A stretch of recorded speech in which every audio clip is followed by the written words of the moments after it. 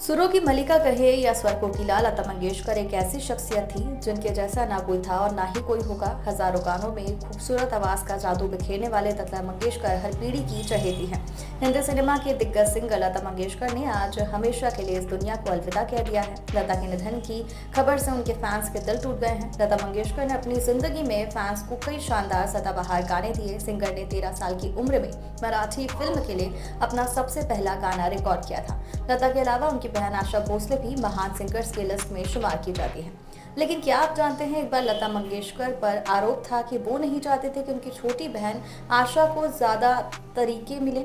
और लता मंगेशकर पर लगे इस आरोप पर उनकी बहन मीना ताई ने आज तक को दिए अपने पुराने इंटरव्यू में दोनों बहनों के रिश्ते का सच बताया था। उन्होंने कहा था, नहीं, ऐसा बिल्कुल भी नहीं है। एक आर्टिस्ट के जितने जाने वाले होते हैं, उसके दुश्मन भी उतने होते हैं। वो लोग चाहते थे कि ये दोनों बहनें अलग हो जाए, इसलिए झगड़े करवाते थे। मीनाताई ने आगे कहा, लोगों को कुछ तो चाहिए, इसका नाम है, इसे बदनाम करो, बाकी कुछ नहीं। अब आशा की शादी हो गई है तो हमारे घर में तो आकर नहीं रह सकती थी। दोनों बहनों ने कभी एक दूसरे के बारे में बुरा नहीं सोचा। दोनों का प्यार अभी भी वैसा ही है।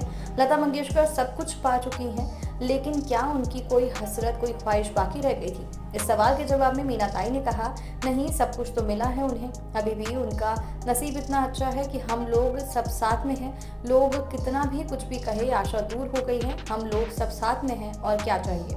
एंटरटेनमेंट जगत से जुड़ी जानकारी से अपडेट रहने के लिए हमारे चैनल को सब्सक्राइब कर लीजिए।